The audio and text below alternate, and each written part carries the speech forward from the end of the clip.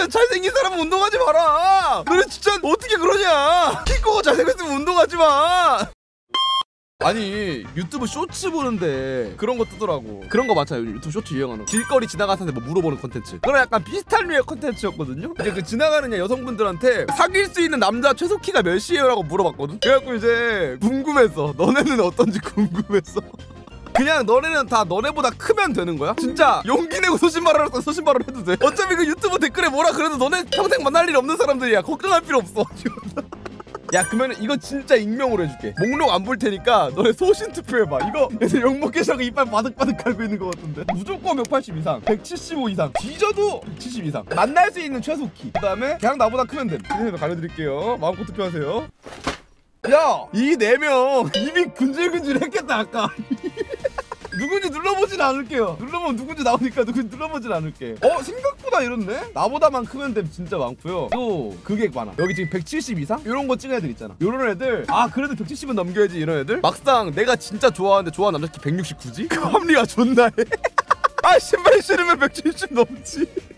남자한테 키가 존나 중요한 게 맞긴 하거든? 남자 볼 때 키가 존나 중요한 게 맞긴 한데 사실 그냥 플러스 알파가 되는 절대적인 건 아닌 것 같더라고요. 물론 절대적인 분들도 있어. 나는 진짜 뭐 175 안 넘으면 절대 안 된다 이런 절대적인 분들도 있긴 있지만은 보통은 내가 봤을 때 내 주변 친구들만 봐도 아 나는 175 아니면 안 만날 거야 하는 애들? 다 만나더라 하지만 나중 보면은 다 만나자 내가 물어봐. 야너 키 작은 안 만났는데 왜 이러지? 그렇게 됐어 절대로 없더라고 다들. 그래서 그냥 기준을 바꿨다고. 그러니까 이제 보통 어떤 느낌이냐면은 175 이상 아니면 안 만나라고 얘기하던 애들이 자기가 진짜 좋아하는 애 만나갖고 173에 진짜 좋아하는 애를 만나. 이미 자기가 한 말이 번복이 됐잖아. 그러면 그 다음에 아 그래도 170은 넘겨야지.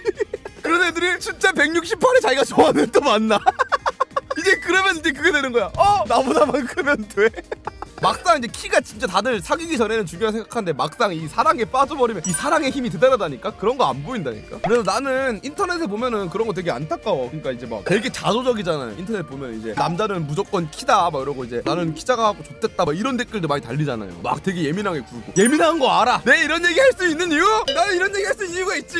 존나 민감해 진짜. 다 죽여버리고 싶어 진짜로 응애 내말 들어줘 나는 이렇게 자동적으로 좀 슬퍼하고 그러던데 사실 키가 중요하긴 중요하지만은 또 그렇게 절대적인 건 아니더라고요 본인 매력이 더 중요해 그 너네 168에 송강 만날래? 아니면 이제 네가 송강 아니, 아가리 여물어! 지금 이 키 작은 남성분들이 어떻게든 희망을 주입하려고 노력하고 있는 나의 모습이 안 보이니? 송강 186이라고? 그거 알아? 송강님 운동도 해 양심 있으면 잘생긴 사람은 운동하지 마라. 너네 진짜 어떻게 그러냐? 키 크고 잘생겼으면 운동하지 마. 야 그러면 이렇게 할게. 뭐 얼굴은 비슷한데 진짜 성격이랑 다른 모든 게 네 이상형인데 키가 160 후반인 사람. 두 번째로는 키가 177인데 성격이 좀 애매해. 썸탈 때막 싸워. 살짝 여자 문제 있어. 근데 나머지 다 이상형이야. 1번, 2번 둘 다. 그래? 그러니까 생각만큼 그렇게 절대적이진 않다니까. 키 크다 성격이 더럽냐고요? 물론 키 크고 성격 좋으면 좋겠지 씨발. 합리화가 아니고 내 얘기 그거잖아. 키가 씨발 작다고 좆되는 건 아니라니까. 아 그리고 그런 것도 좀 있어. 이게 뭔가 여자랑 있을 때 약간 이제 남자가 먼저 내가 좀 이제 그래도 큰 키는 아니잖아요. 먼저 자기가 작은 티 내갖고 그런 애도 있단 말이야. 아, 아, 막 이러고 먼저 막 이렇게 웅치러 들어 있는 거. 그게 더 싫어. 난 이거 내가 좀 뒤늦게 깨달았거든요. 그러니까 자기가 조카 어쩔 건데 이런 느낌이면은 그리고 잘 몰라. 솔직히 160 후반대면 170이랑 믿어.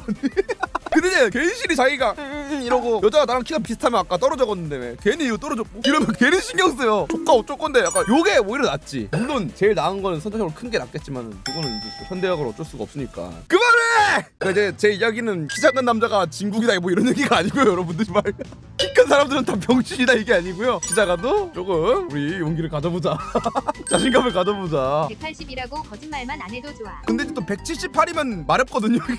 뭔지 알지? 내 키가 178이면은 마렵거든. 180이랑 약간 느낌이 너무 다르잖아. 여자들은 비슷하지. 내가 키가 159야. 너네 160이라고 다닐 거 아니야. 그지? 아니 너네 몸무게 50이야. 그럼 뭐라 그럴 거야? 너네 40kg대라고 할 거잖아. 너네 몸무게 만약 50.4여봐. 40kg대라 얘기 안 할 거야? 할 거잖아. 옷 다 벗고 머리카락 다 자르고 똑같이 다 파고 배 한번 싹 비우고 그러면 줄어. 반대로 180 초반이면은 키를 살짝 깎는다. 그럼 170 후반 애들 다 나가 떨어져. 개꿀잼이야. 너는 진짜 X이다 이 X야.